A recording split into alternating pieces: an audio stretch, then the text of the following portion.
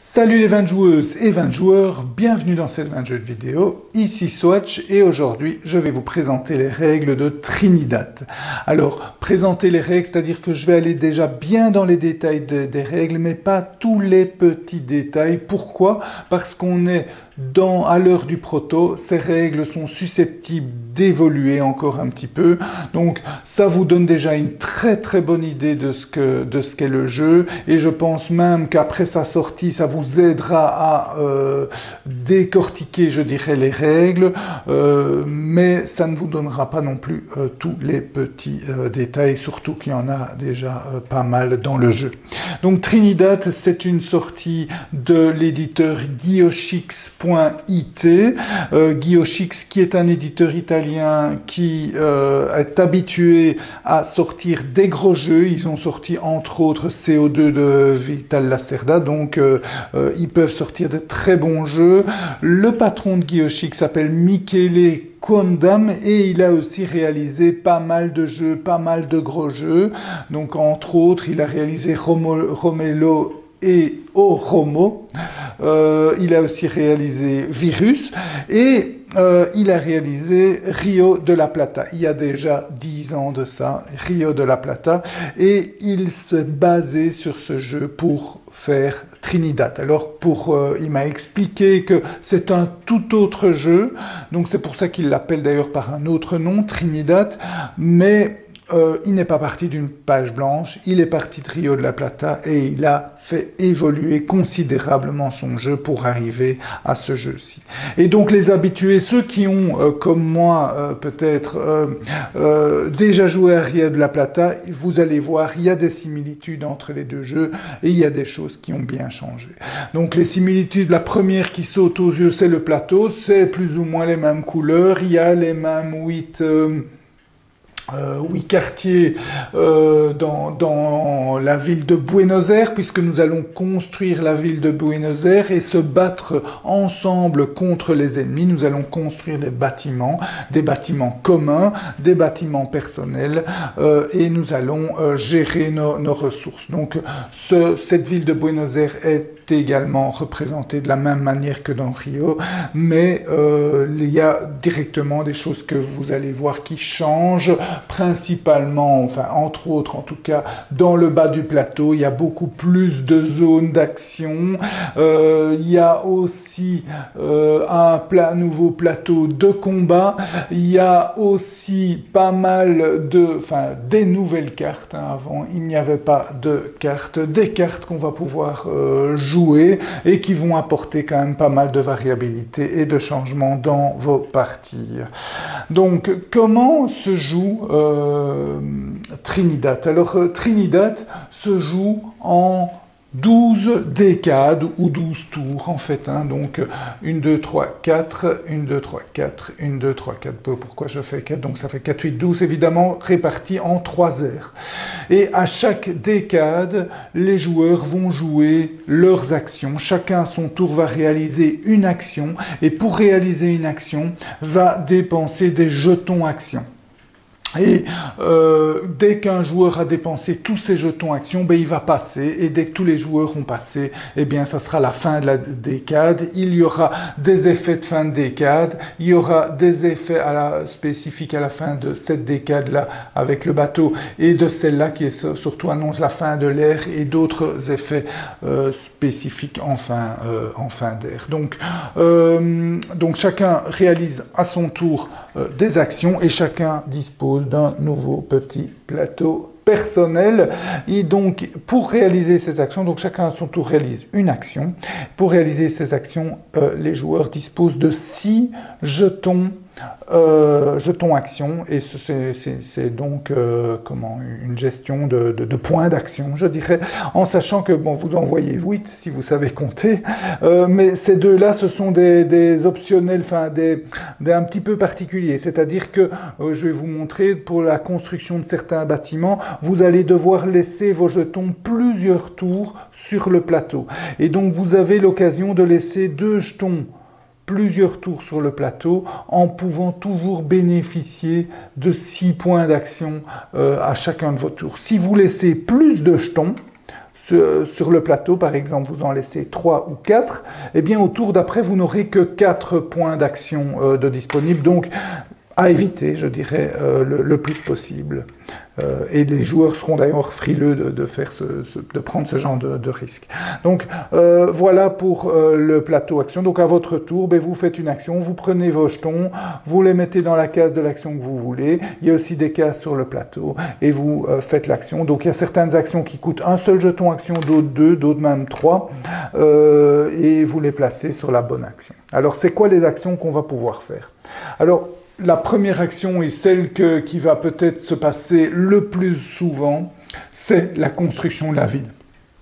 Alors, vous disposez en fait, euh, pour le moment c'est que sur les règles, j'espère qu'ils feront pour la, pour la version définitive du jeu une, euh, aide de jeu, euh, mais c'est un tableau quand même très intéressant que vous, allez devoir garder sous les yeux tout au long de la partie, c'est le tableau des différents bâtiments. Donc vous avez la liste des bâtiments, vous avez éventuellement le prérequis nécessaire pour pouvoir le construire, les points de victoire que rapporte le, le bâtiment quand vous le construisez, le coût en termes de jetons actions, ce sont les ouvriers ici, ou de ressources, et ou de ressources, enfin, ou surtout et de ressources, et euh, ce qu'il rapporte lorsque euh, on, euh, on l'active. Donc j'y reviens aussi, c'est une autre action, c'est d'activer un bâtiment. Donc, pour construire un bâtiment, eh bien, la première règle, c'est que vous devez construire les bâtiments sur cette ligne rouge que vous voyez ici, donc la ligne qui est ici. Donc, vous devez construire un bâtiment soit sur cette ligne rouge, soit adjacent à une de vos maisons. Ça, ce sont vos maisons, ce sont les maisons des, couleurs, des, joueurs, pardon. Et donc deux couleurs. Pour le, là, vous voyez une partie à, à deux joueurs. Et donc vous avez les maisons vertes pour le joueur vert et les maisons jaunes pour le joueur euh, jaune. Donc si je construis un bâtiment, par exemple une maison, eh bien, je la place, je peux le placer où je veux sur cette ligne. Et si je veux construire un bâtiment, je peux aussi le construire adjacent à une de mes maisons. Donc, adjacent, c'est quoi? C'est les huit cases autour. Hein. Donc, la, diagonale compte. Euh, et c'est un petit peu pour ça que d'ailleurs que vous allez voir principalement des, maisons, vous voyez, adjacentes les unes aux autres, euh, pour pouvoir continuer ces constructions. L'aspect vraiment euh, intéressant du jeu, c'est que, outre les maisons, les maisons appartiennent aux joueurs, mais le reste des bâtiments n'appartient pas aux joueurs.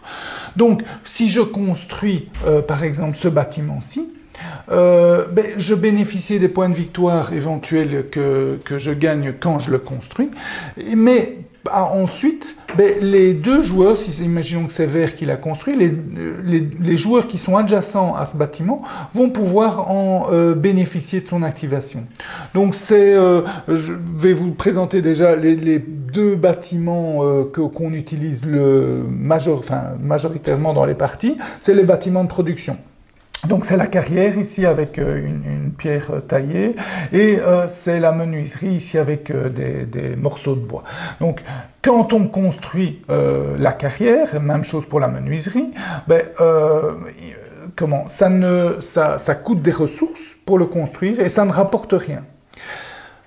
L'avantage, c'est que ben, une fois qu'il est construit, je vais pouvoir l'activer. C'est une autre action si je prends, euh, si je prends ici, c'est l'action euh, Stone Cutter, donc euh, pour la carrière.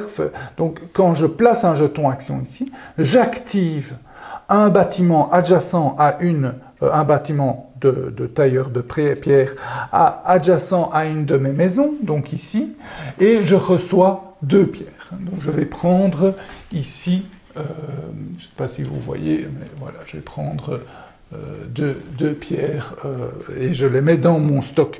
Donc, euh, ça c'est l'action, on peut le faire qu'une seule fois par décade.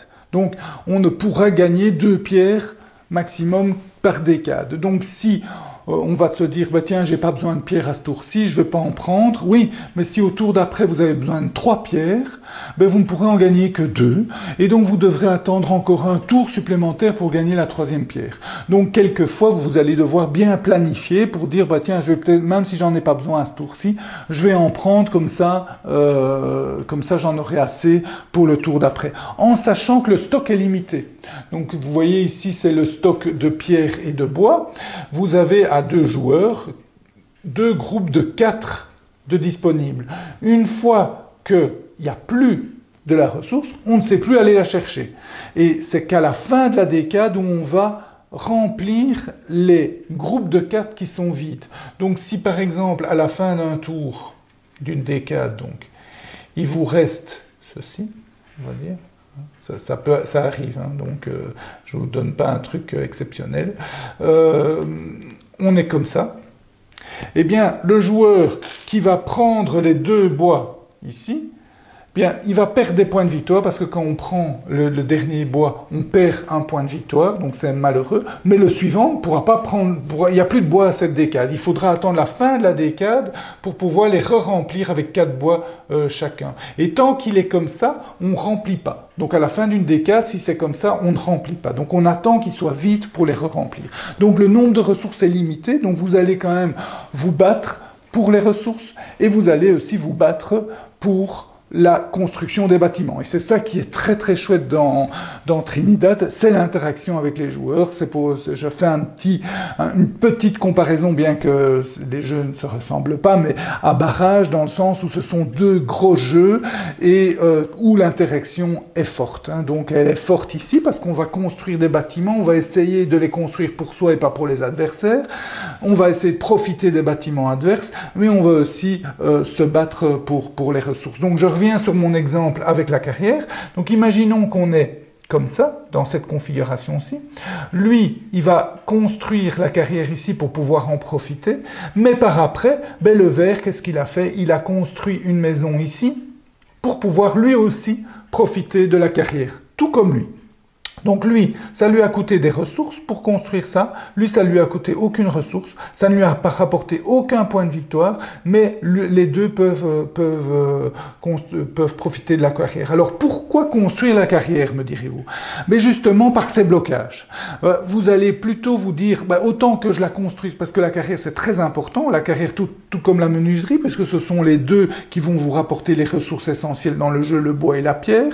Donc vous allez dire, bah, autant que je la construise moi-même près d'un de mes bâtiments, comme ça je peux, je suis sûr d'en profiter. Par contre, si je laisse mon adversaire le faire, peut-être qu'il va trouver un endroit où je n'aurai pas le moyen d'en profiter. Par exemple, dans la partie euh, qu'on a joué ici, on était comme ça. Et le joueur vert a construit ici le marché. Et le marché, il est, il est important aussi, puisque c'est aussi un autre bâtiment de production. Dans, dans ce bâtiment-là, on va pouvoir faire des échanges entre les ressources. On va pouvoir acquérir des ressources plus rares qui sont celles-ci, c'est les ressources transformées. Et on va pouvoir aussi vendre des ressources pour avoir le matériau le plus précieux, enfin un des matériaux les plus précieux, l'argent évidemment. Donc, euh, donc, euh, le, donc le marché est intéressant. Il n'y a qu'un seul marché. Hein. Donc à deux joueurs, à trois il y en a plus, mais euh, à deux joueurs, il y a qu'un seul marché de disponible, de possible de construire. Il n'y a qu'une seule carrière et il n'y a qu'une seule menuiserie. Donc construire près, même si ça ne rapporte aucun point de victoire et que les autres peuvent en profiter, ben, vous assure construire près de vos maisons vous assure que vous allez pouvoir en profiter. Et ici, dans, la partie, vous voyez, vert a construit le marché ici, euh, et jaune, ben, bonne chance pour y arriver. Hein, vous voyez ici, euh, jaune, euh, ben, il ne sait pas y arriver, parce que ici, c'est la Plaja, Plaja Mayor, il ne peut pas y aller. Donc, passer par là, ça fait quand même déjà trois maisons de construire. Hein. ça coûte deux jetons actions pour construire une maison et il faut les avoir. Il faut savoir qu'on en a six chacun. Quand, une fois que les six sont placés sur le plateau, il n'y en a plus. Donc, pour y arriver, qu'est-ce qu'il a fait jaune? Parce qu'il avait besoin vraiment de sous. Il a, fait, il a construit ici et puis il a construit une autre maison ici. Et enfin, il est arrivé, mais ça lui a pris quelques tours. Quoi, hein. Donc pour y arriver, donc... Euh, Donc vous voyez l'interaction, les blocages sont possibles. C'est toujours possible de, de, de, de comment de les contourner, en sachant que Vert aurait très bien pu construire sa maison ici, et donc encore une fois empêcher, mais bon, Vert avait peut-être d'autres priorités, là, il a laissé, laissé faire, euh, euh, parce qu'évidemment, Vert avait peut-être aussi des blocages pour arriver, par exemple, ici, a préféré construire une maison là, plutôt que, ben, vous voyez, donc pas mal d'interactions, euh, et donc des bâtiments qui vont vous permettre d'acquérir certaines ressources et des bâtiments qui vont vous permettre, comme celui-ci, euh, les baraquements qui vont vous permettre de construire des soldats pour la guerre, j'y arrive après, et euh, des bâtiments de prestige comme la fontaine, le monument, euh, l'église, qui vont rapporter des points de victoire. Parce que à chaque fin d'air, donc trois fois par par partie, hein, donc après quatre tours, quatre décades, à chaque fin d'air, on va calculer les points de victoire dans chaque quartier. Donc il y a huit quartiers, euh, et dans chaque quartier, on va calculer les points de victoire en sachant que chaque maison rapporte deux points de victoire avec des modificateurs qui peuvent aller jusqu'à 4 points de victoire au maximum ou 0. Donc par exemple ici cette maison-là vaut 2 points de victoire, celle-là vaut 2 points de victoire. Dans ce quartier-ci, on regarde euh, les modificateurs. Alors chaque bâtiment de production non seulement ne rapporte pas de points de victoire, mais en plus vous en fait perdre. Donc ici il y a un bâtiment de production et là un bâtiment. Ça fait perdre un point de victoire par maison. Donc cette maison-là vaut de base 2 points de victoire, moins 1, moins 1, 0. Zéro dans ce quartier-ci, mais euh, heureusement, il y a la fontaine qui rapporte 2 points de victoire, et il y a le monument qui rapporte 2 points de victoire. Donc ça fait 4 moins 2, 2 plus les deux du bâtiment, 4 points de victoire par chaque bâtiment. Jaune en a 2 dans le quartier et vert en a 3, sachant que ça c'est un palace, c'est un autre bâtiment, mais qui remplace, quand vous le construisez, il remplace une de votre maisons. Parce que quand je vous avais dit, euh, on n'a que 6 maisons, donc vous voyez ici, vert a ses 6 maisons sur le terrain. S'il veut, donc au départ, et on va dire qu'il était comme ça, eh bien il a construit alors un palace à la place d'une de ses maisons ce qui lui a permis d'après de construire euh, cette maison euh, ici. Donc, euh, donc voilà, ça c'est les bâtiments, les différents bâtiments, leurs fonctionnalités et ce qui rapporte et les points de victoire. Donc vous voyez ici, par exemple ici, eh bien ça c'est 2 plus 2 plus 2 moins 1, ça fait, ça fait, on est à plus de 4, donc c'est 4 points de victoire pour ces deux maisons. Évidemment, il va falloir essayer d'être plus présent avec plus de maisons dans les, les, pardon, attention, parce que euh, les territoires, les quartiers, c'est comme ça, hein, donc c'est en fait euh, plus comme ça, mais il, va, il va falloir être présent dans les quartiers qui rapportent le plus, bloquer les autres pour qu'ils ne viennent pas dans les quartiers qui rapportent le plus, et construire les bâtiments les plus lucratifs dans les quartiers où vous êtes le plus présent. Donc par exemple, ici, vert est présent trois fois dans ce quartier-ci, jaune que deux fois, donc vert a intérêt à construire plus de bâtiments de prestige dans ce quartier-là, même si ça va quand même rapporter à jaune, mais moins qu'à vert. Donc voilà, vous voyez, c'est pas mal d'interactions, c'est très très sympa euh, à, jouer euh, cette, euh, cette partie-là. Donc, qu'est-ce que vous allez pouvoir faire pendant votre tour? Donc, construire des bâtiments, activer des bâtiments. Vous allez aussi pouvoir construire des bâtiments communs, ils sont disposés autour du plateau, et c'est une façon un peu particulière, c'est-à-dire que, que pour construire un bâtiment commun, vous allez placer vos jetons actions sur le bâtiment, et vous allez gagner, quand le bâtiment est construit, ces points de victoire-là, en sachant que le premier qui se lance va gagner en plus un bonus de 3 points de victoire. Et quand tout est rempli, il y a aussi moyen de mettre des citoyens euh, neutres euh, de différentes façons euh, dans, dans, la construction d'un bâtiment, ce qui permet de réduire le coût. Parce que c'est ça vraiment le désavantage de la construction d'un bâtiment commun, c'est que vos jetons actions y restent. Et donc, comme je vous disais, vous risquez d'avoir à un moment donné moins de jetons actions de 10 disponible à chaque tour parce que vous avez euh, laissé vos jetons actions euh, sur les bâtiments. Donc, euh, donc, donc quand vous avez terminé, Bon, il faut savoir que c'est pas facile. Hein. donc, bon, ici, imaginons que c'est comme ça. Hein. il y a donc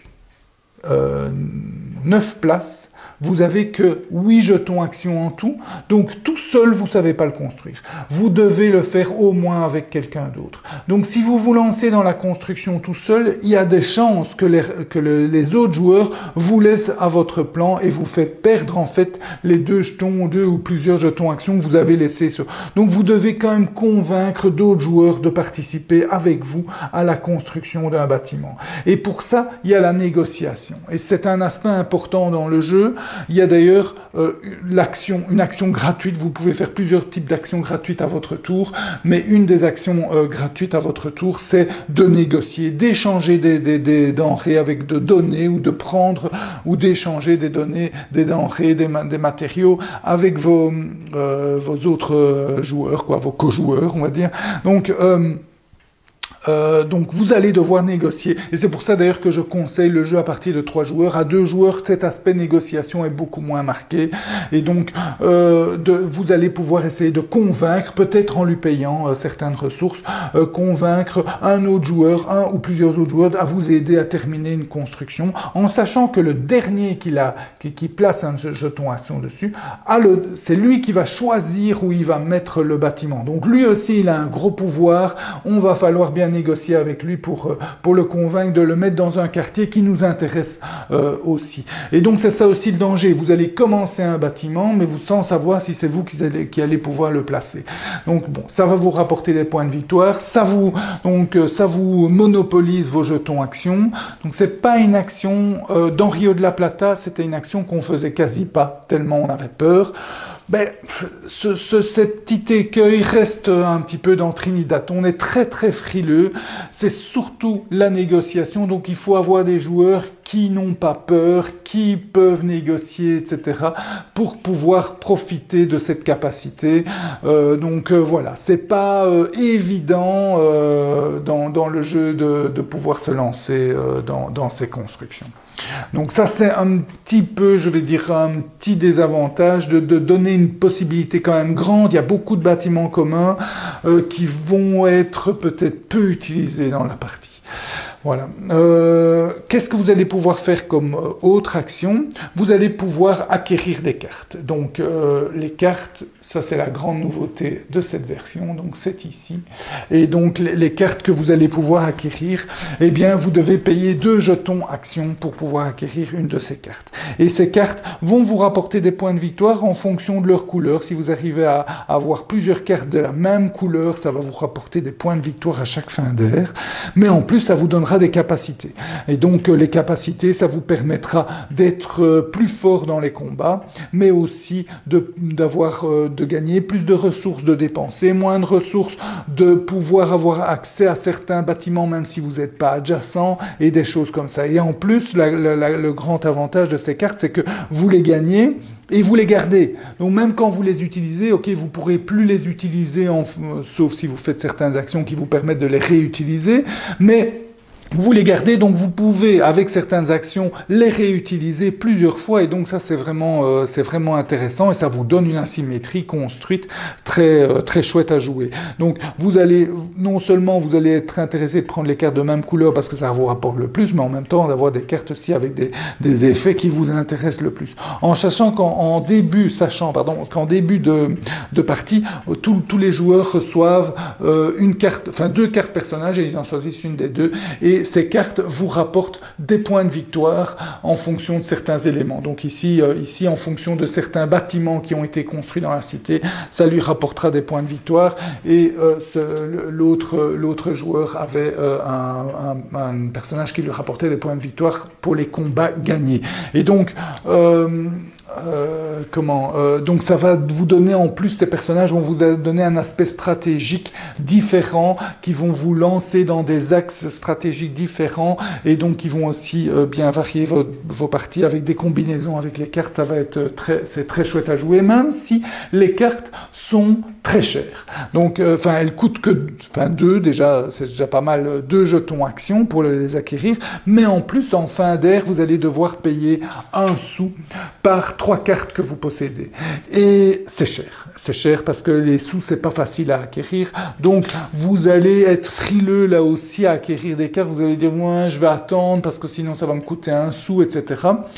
Maintenant, les cartes vont bien vous aider dans les combats. Quand je vais revenir sur les combats, je vais vous expliquer, vous allez comprendre que les cartes sont très intéressantes. Et donc, grâce à ça, en fait, dès que les premiers combats vont s'annoncer, vous allez commencer à acquérir vos cartes parce que vous allez vouloir profiter évidemment de leur effet, mais surtout, vous allez pouvoir les, les utiliser en combat. Euh, je reviens dans la deuxième partie de cette vidéo sur les combats et sur le reste euh, des actions, il n'y en a plus beaucoup, j'ai fait le, tour, et sur les effets de fin de décade et de fin d'air, euh, ainsi qu'avec mon ressenti. Voilà, à tout de suite.